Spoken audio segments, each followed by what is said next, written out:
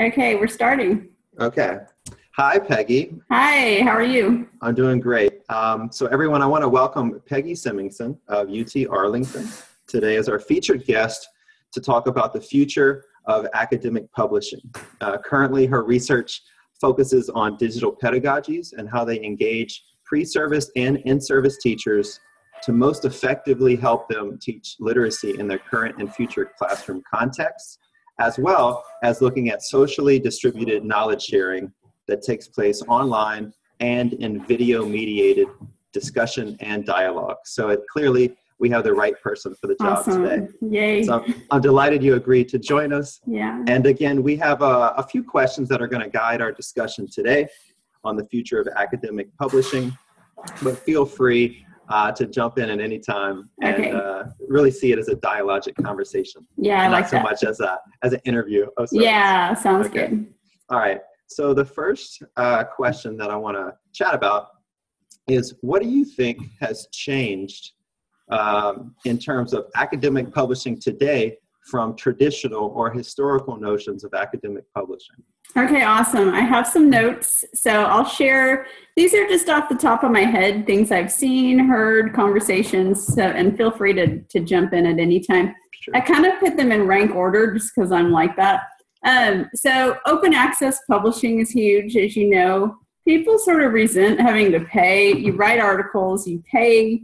Uh, I mean, you have to pay to access your own article, right? And so it's really hard to disseminate knowledge, which isn't the, isn't that the point of of writing and doing research. Absolutely. And then the, sometimes publishers think they do you a favor by giving you 25, 30, or 50 uh, downloads, right, for Mhm, your article as if I you won a prize. So Yeah, I totally know what you mean there. yeah, totally. It's a scam. So people are opening up journals. We have to be real savvy. Some of them are um, questionable, majorly so. So judging quality with open access is the caveat or double-edged sword.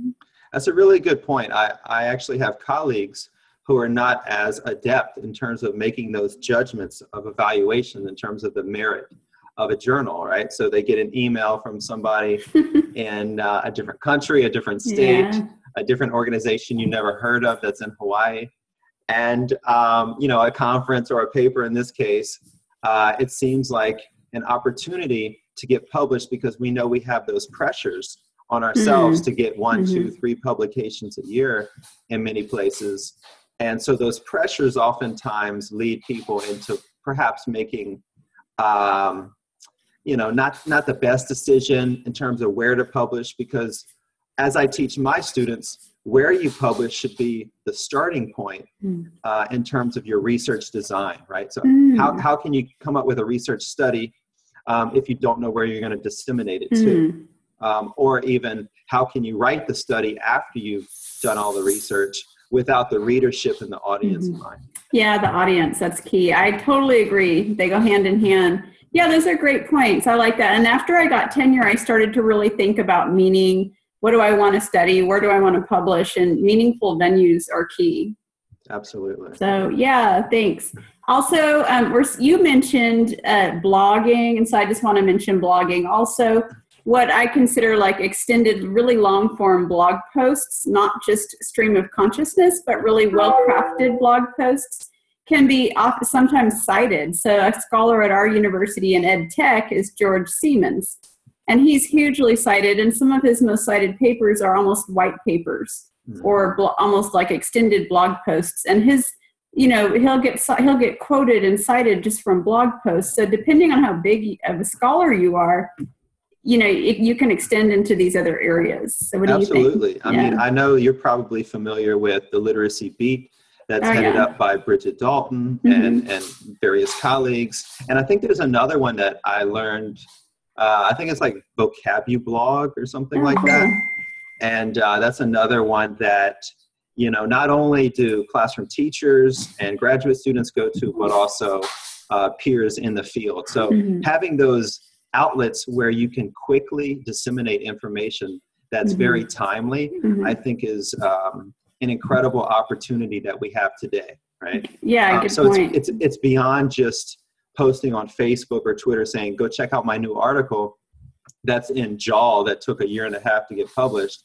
it's go check out this research study I just did last week, and I just wrote it up over the Mhm. weekend. Right, exactly. That's so that's so great. Um, and then I, you mentioned too podcasting, and I see you you're all set up. That's awesome.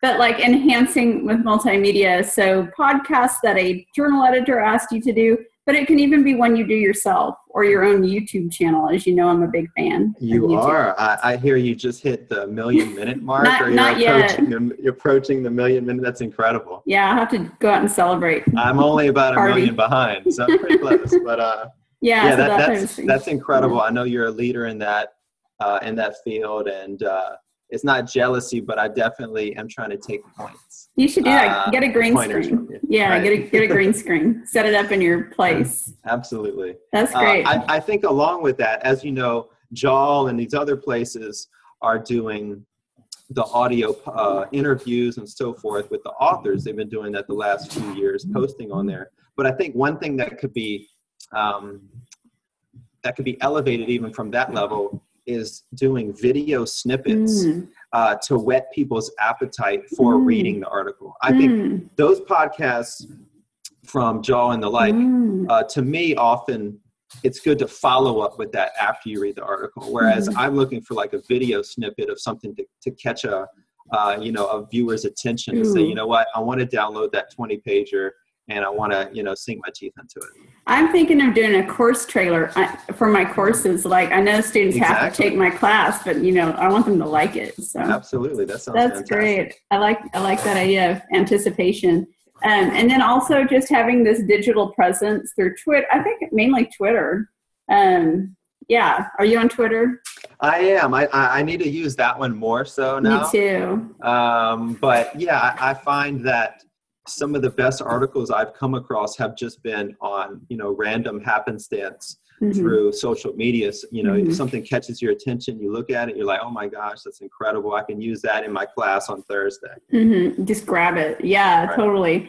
Um, so thought leaders, you can follow influencers. Um, and then I don't use these much, but I know a lot of people are using like ResearchGate and academia.edu. What do you think Yeah, this? I, I've been using those as well. I think part of the part of the reason there is institutions are all about metrics these Mhm. days. Yeah. And so any way that you can prove that uh, you know you have a high citation rate, that people Mm. are viewing Mhm. uh, your articles or your YouTube channels, and anything like that can provide additional evidence to university bureaucrats that sometimes call into question what it is you're doing when you're not teaching.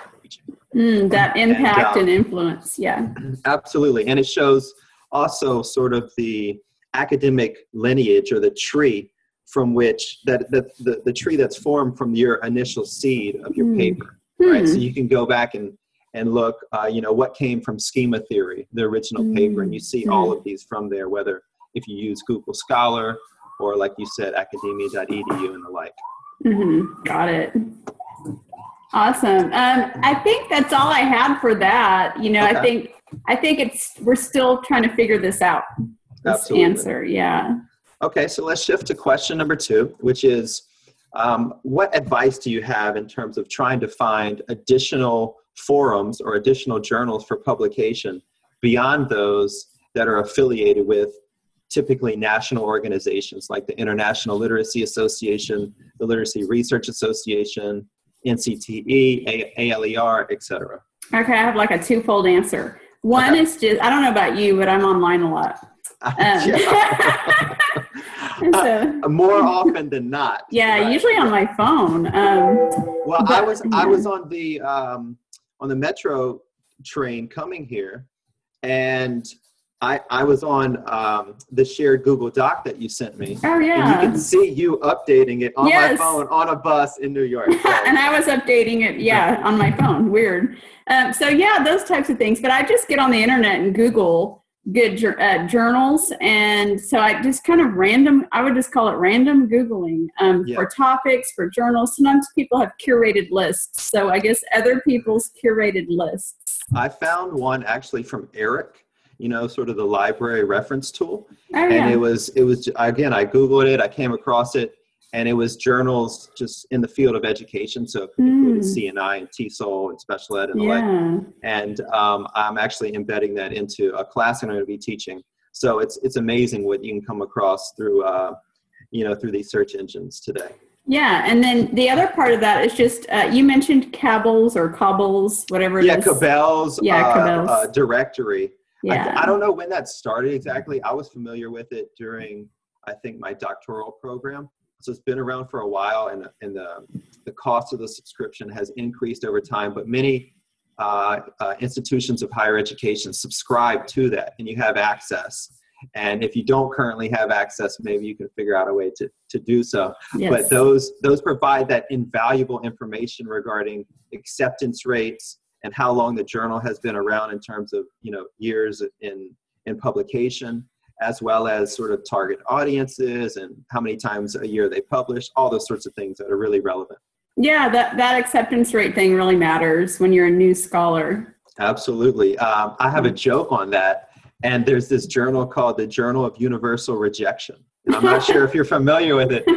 It, it, it touts itself on having a 0% uh, acceptance rate Oh, and therefore is the um, i guess the most reputable journal in some people's eyes uh, according to these makers so as a joke years Elite. ago i sent a paper to this group and then within a month or two they send you a reason as to why they didn't accept it Oh, that's so funny. It's like masochism or something. Right. That's so funny. I love it. And then you probably do this too, but um, follow the right people um, and explore other fields. So, as we all know, literacy studies is extremely interdisciplinary and it's probably intersecting with like literally every single field out there social science, et cetera, humanities.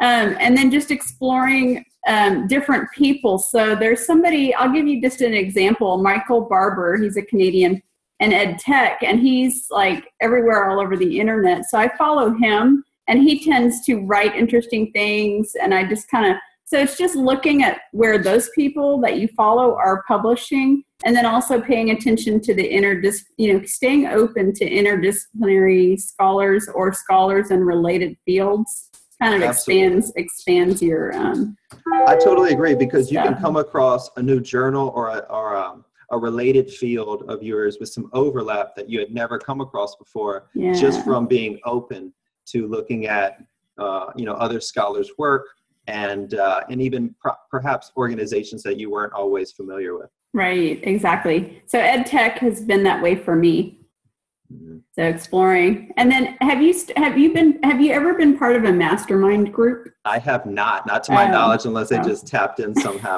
So tell me about tell me more about that. Okay, well, it's not as scary as it sounds, Okay. um, but it is just people who meet and encourage one another. Um, you know, kind of like a community of practice, but a little more underground and not visible. So, in contrast to everything we've been talking about about putting yourself out there, it's sort of a self-contained little group where you share bounce ideas off of each other say have you thought of this um, that kind of thing like a support group but very career focused I like that idea. Yeah. Um, did, I, I is that one that you're part of uh, with some of the LRA folks? yes Okay. yes Okay. yeah yeah so it's just a back channel Gotcha. basically yeah but they started in business but we're not corporate Gotcha. but anyway that's all i have for that i think um, there's hashtags that i think you can follow everybody probably knows that but i'm interested in the future of work and then kind of thinking back towards what does that mean for education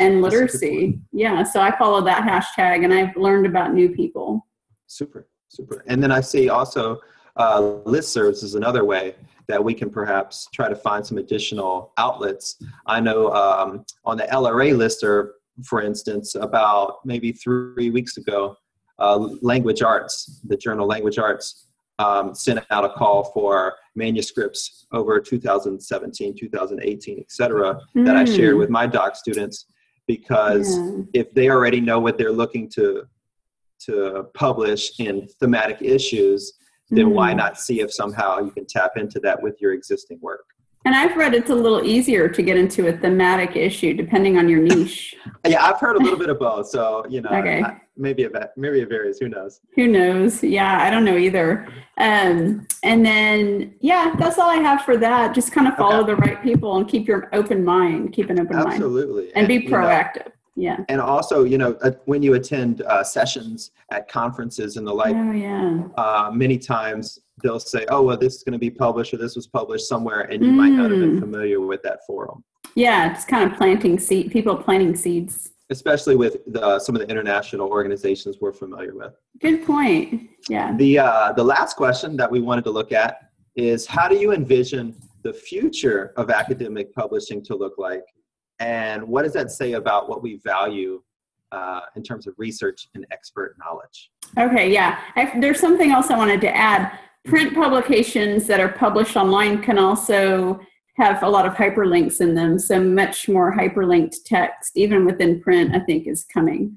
That is true, and So- uh, and using that right. So not Yeah. everybody has always used those um, available links, but I think it's invaluable to really try to maximize our use of those Yeah, that's great. I just finished up my column um, year for the ALAN Review, and that was one of the things is they have hyperlinks and encourage you to to hyperlink the text. So I think we're going to see more of open access publishing. I think again it goes back to budgets and finance. It's kind of economically driven. What do you think about? Yeah, that I actually just just uh, I did some homework. I think it was yesterday, and I saw that, for instance, the major TESOL journal, which is called TESOL Quarterly, Mm, is shifting this month from being print based to fully open access. And mm, I think that's a testament to and, and seconding what you're talking about that major organizations and and longstanding academic journals are making that shift.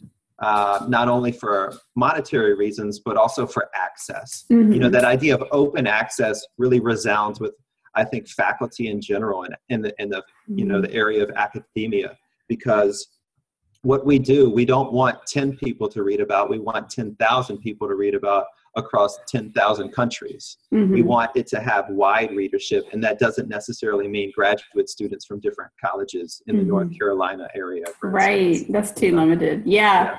Um, and then this idea of the quantified self. Um, so tracking your views, um, and you know, we don't just write sole author, but you know, tracking the views of your articles and things like that. Tracking alt metrics, which is like you know, who's reposting your the link to your article, who's listening to your podcast. absolutely um, So and then i actually had had a radical idea i don't know if you agree with it what? um, in some ways i'm calling into question the written word itself Mm. as the primary avenue for publishing Mm. so most people if you think about it what do they do in their free time when they get five minutes uh, you know to themselves maybe they listen to music they watch movies etc very few say you know what i want to do i want to read the next academic article that just came out and i think these notions provide you know some fodder to consider for future conversations on this topic Mm. um, you know there is a longstanding tradition of the written word Mhm. being sort of um, you know the, the rule of thumb but that hasn't always been the case with you know storytelling Mhm. uh, oral oral discourse and so on Mhm, over the mhm. years and in different Right. cultures